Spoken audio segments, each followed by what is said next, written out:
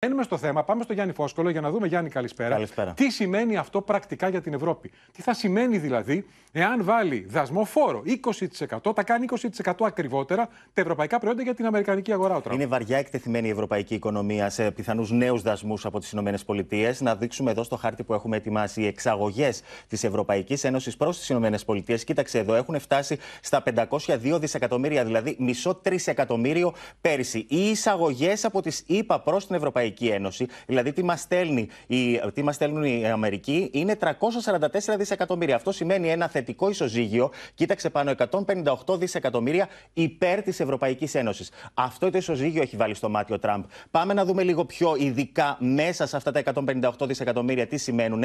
Πάμε να δούμε για τα αυτοκίνητα και για τις μηχανές. Οι εξαγωγές αυτοκινήτων από την Ευρωπαϊκή Ένωση στι ΗΠΑ είναι 207 δισεκατομμύρια. Οι εισαγωγές είναι μόλις 105. Άρα έχουμε 102 θετικό ισοζύγιο, 102 δισεκατομμύρια θετικό ισοζύγιο υπέρ της Ευρωπαϊκής Ένωσης μόνο από τα αυτοκίνητα. Αυτό θέλει να διαλύσει ο Τραμπ.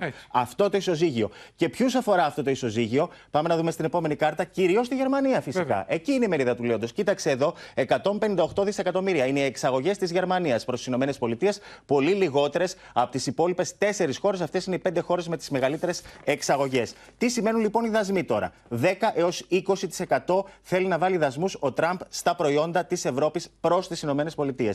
Αυτό σημαίνει, λένε οι οίκοι, 1,5% κάτω το ΑΕΠ, το ευρωπαϊκό ΑΕΠ, 260 δισεκατομμύρια ευρώ μείον ετησίως από την ευρωπαϊκή οικονομία. Από τη γερμανική οικονομία, 33 δισεκατομμύρια υπολογίζει το Ινστιτούτο IFO ότι θα στοιχήσει αυτό, δηλαδή θα πέσει το γερμανικό ΑΕΠ 0,6% κάτω.